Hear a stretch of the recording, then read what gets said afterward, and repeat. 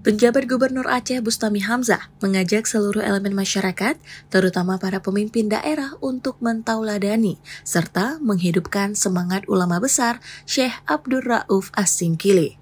Hal tersebut disampaikan oleh Gubernur dalam sambutannya pada peringatan haul ke-339 Syekh Abdul Rauf As-Singkili di Masjid Agung Singkil pada Jumat 26 April 2024 malam.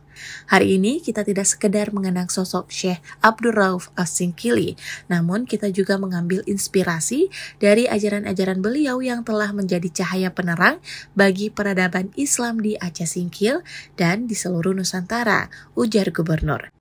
Bustami mengungkapkan haul ke-399 Syekh Abdul Rauf As-Singkili yang mengangkat tema Aceh Singkil adil dan bermartabat dalam spirit Syekh Abdul Rauf As-Singkili sangat relevan dengan tantangan yang dihadapi di zaman ini. Oleh karena itu, gubernur mengajak hadirin untuk selalu bermuhasabah serta selalu mengingatkan diri kita sendiri bahwa martabat bukanlah sesuatu yang dapat diberikan atau diambil begitu saja, melainkan sesuatu yang harus dipertahankan dan dibangun bersama-sama. Dalam sambutannya, gubernur juga mengingatkan pentingnya pendidikan dalam mewujudkan visi Aceh Singkil yang adil dan bermartabat.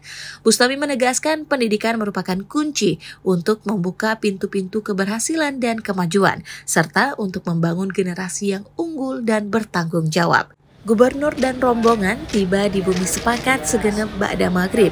Saat tiba di pendopo Bupati Aceh Singkil, Gubernur beserta istri disambut oleh PJ Bupati Aceh Singkil dan menjalani prosesi adat pesiju bersama Ketua DPR Aceh Zulfadli di ruang adat pendopo Bupati.